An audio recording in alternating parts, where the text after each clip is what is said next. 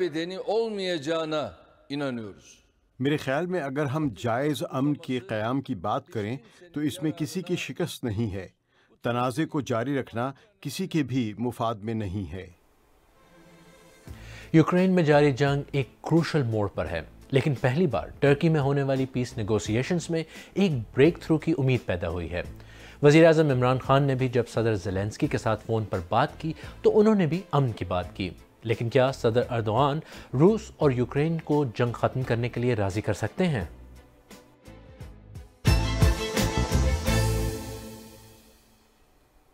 میں ہوں خالد کرامت اور آپ سیربین دیکھ رہے ہیں۔ وہ پروگرام جس میں ہم ان کہانیوں کو سمجھنے کی کوشش کرتے ہیں جو آپ کے لیے اہم ہیں۔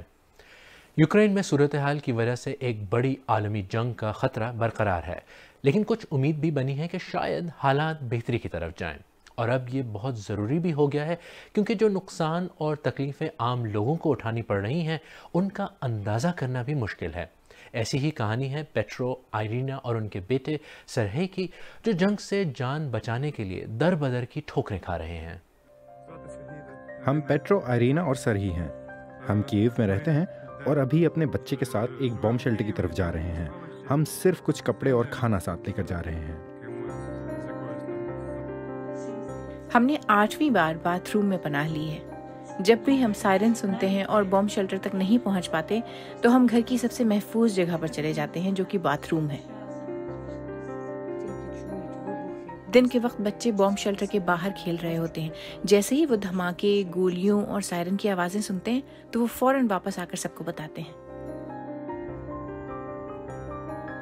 ہم جب یہاں آئے تو ہر جگہ لمبی لائنیں لگی ہوئی تھیں اور ہر کوئی پولنڈ جا رہا ہے۔ ہم بھی پولنڈ جا رہے ہیں۔ پیٹرو رائنینا بھی آپ اور مجھ جیسے عام لوگ ہیں، لیکن جنگ میں انسان بس نمبرز بن کر رہ جاتے ہیں۔ اقوام متحدہ کے مطابق ایک کروڑ تیس لاکھ افراد ایسے علاقوں میں پھنسے ہوئے ہیں جہاں سیکیورٹی رسکس بہت زیادہ ہیں۔ بہت سے ایسے بھی ہیں جو جان بچا کر ملک چھوڑ چکے ہیں۔ یہ تعداد سینتیس لاکھ سے زیادہ ہو چکی ہے اور اب بھی لوگ ملک چھوڑ کر جا رہے ہیں۔ اور بدقسمتی سے یوکرین کی جنگ میں بہت سے ایسے بھی ہیں جو بچ نہیں سکے۔ اب تک ایک ہزار سے زیادہ لوگ ہلاک ہو چکے ہیں۔ اس جنگ کا اکنامک امپیکٹ بھی بہت زیادہ ہے۔ یوکرین کا نقصان بھی بلینز میں ہے اور اندازوں کے مطابق دو ہزار تیئیس میں گلوبل اکانومی کو ایک ٹریلین ڈالر کا نقصان ہوگا۔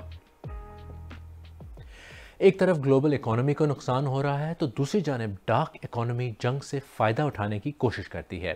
انفارچونیٹلی جنگ میں جب لڑکیاں اور بچے زندگی بچا کر بھاگ رہے ہوتے ہیں اور مدد کی تلاش میں ہوتے ہیں تو بہت سے سیکس ٹریفکرز ان کو ٹارگٹ کرتے ہیں۔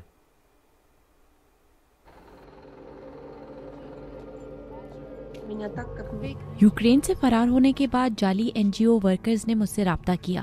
انہوں نے گندی نظروں سے ہماری طرف دیکھا۔ انہوں نے ہمیں دوسری خواتین کے ساتھ وین میں سوار ہونے کو کہا اور کہا کہ وہ ہمیں سوئٹزرلینڈ لے جائیں گے۔ لیکن جب میں نے ان سے ان کی شناخت مانگی تو وہ غصہ ہو گئے۔ میں نے اپنے بچوں کو پکڑا اور وہاں سے بھاگ گئی۔ یہ ایک ایسا خطہ ہے جہاں اسمگلنگ کے نیٹ ورک پہلے سے ہی قائم ہے۔ جنگ کی وجہ سے خواتین اور بچوں کی بڑھتی ہوئی تعداد کے ساتھ خطرات یقیناً بڑھ رہے ہیں۔ یہ حالات بہت شاکنگ ہیں۔ اس کے علاوہ ایک عالمی جنگ کے خطرے کی وجہ سے بھی بہت ضروری ہے کہ امن کے لیے بات چیت کامیاب ہو۔ مگر اس وقت گراؤنڈ پر سچویشن کیا ہے؟ آئیں دیکھتے ہیں۔ یوکرین پر حملے کے ایک مہینے بعد بھی خیرسوں وہ واحد قابل ذکر شہر ہے جس پر روسی فوج قبضہ کر سکی ہے، جبکہ اس نے ساحلی شہر ماریوپل کو گھیرا ہوا ہے۔ دارالحکومت کیو اور ملک کے دوسرے بڑے شہر خارکیف کے آس پاس بھی روسی فوج موجود ہے، لیکن دونوں جگہ ابھی تک یوکرینی فوج ریزسٹنس دکھا رہی ہے۔ اس دوران سیز فائر اور ہیومینیٹیرین کوریڈور بنانے کے لیے بیلاروس کے بارڈر پر مذاکرات ہوئے، لیکن کوئی نتیجہ نہیں نکلا۔ روس اور یوکرین اس سے پہلے ترکی کے شہر استنبول میں بھی مل چکے ہیں، لیکن دونوں کے درمیان کسی بڑی بریک تھرو کی امید ترکی میں ہونے والے تازہ مذاکرات کے بعد ہی پیدا ہوئی ہے۔ اینلس کے مطابق اس بریک تھرو کی وجہ یوکرین کی جانب سے پہلی بار روس اور مغرب کے درمیان نیوٹرل رہنے پر رضامندی ظاہر کرنا ہے۔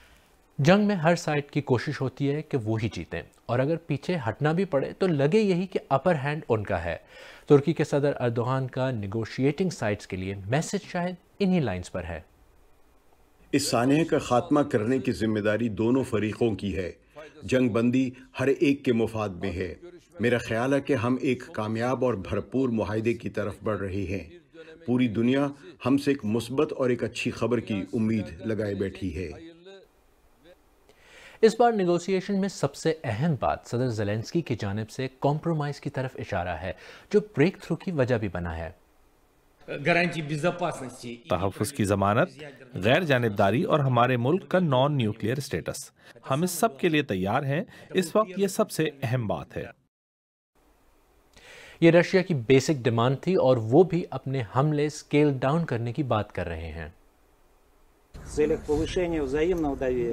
روس کی وزارت دفاع نے کیو اور چنڈھائل کے علاقوں میں فوجی آپریشن کو بہت زیادہ محدود کرنے کا فیصلہ کیا ہے۔ یہ فیصلہ باہمی اعتماد کو بڑھانے، مستقبل میں مذاکرات کا سازگار ماحول بنانے اور یوکرین کے ساتھ معاہدے پر دستخط کرنے کے لیے کیا گیا ہے۔ لیڈرز اپنی ریڈ لائنز پر اڑے ہوتے ہیں اور ان کے ملک اپنی ڈیمانڈز منوانے کی کوشش کر رہے ہوتے ہیں۔ لیکن کیا ٹرکی میں ہونے والی پیس نیگوسیشنز کے بعد جنگ ختم ہو جائے گی؟ اب یہ لگ رہا ہے کہ صدر زلینسکی جو یوکرین کے ہیں اور صدر پوتن کے درمیان ان مذاکرات کے بعد اپنے مذاکرات یعنی اپنی کانورسیشن سٹاک سے میٹنگ ہونے کا امکان اب زیادہ واضح آ رہا ہے، ہو رہا ہے اور اس میں ترکی کا کردار بھی بہت اہم سامنے نظر آ رہا ہے۔ ہیونگ سیڈ دیٹ ابھی بھی رشیا نے اپنی جنگ ختم نہیں کی۔ وہ فوکس کر رہا ہے جنگ کو. اب نیسک ریجن میں ٹونباس ریجن کے اندر جو کہتے ہیں وہاں پہ، تو یہ دیکھنا پڑے گا کہ یہ مومنٹ آف کنسالیڈیشن ہے رشیا کے لیے. اور یہ نہ سمجھیں کہ ابھی جنگ ختم ہو گئی. جنگ جاری ہے.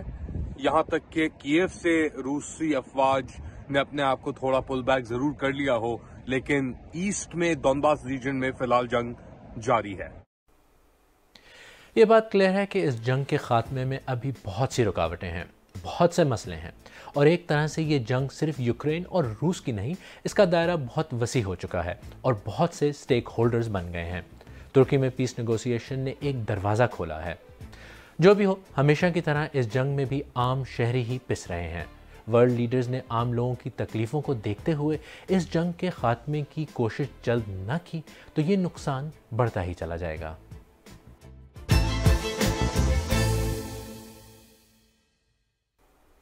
اگر آپ کو ہمارا پروگرام پسند آیا تو ہمارے یوٹیوب چینل کو سبسکرائب کریں، بیل آئیکن پر کلک کریں اور پروگرام کا لنک اپنے دوستوں کے ساتھ شیئر کریں۔ پروگرام کے بارے میں اپنے کامنٹس بھی دیں اور سیربین کی پرانی قسطیں دیکھنے کے لیے یہاں پر کلک کریں۔